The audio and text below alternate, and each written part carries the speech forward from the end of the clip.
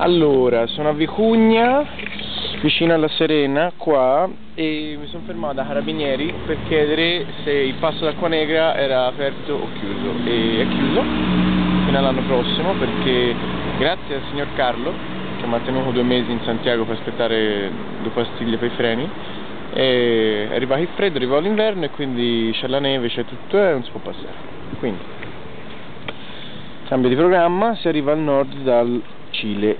Quindi vado alla Serena e poi mi vado a cercare qualche sentiero di terra perché sennò mi tocca fare tutta l'autostrada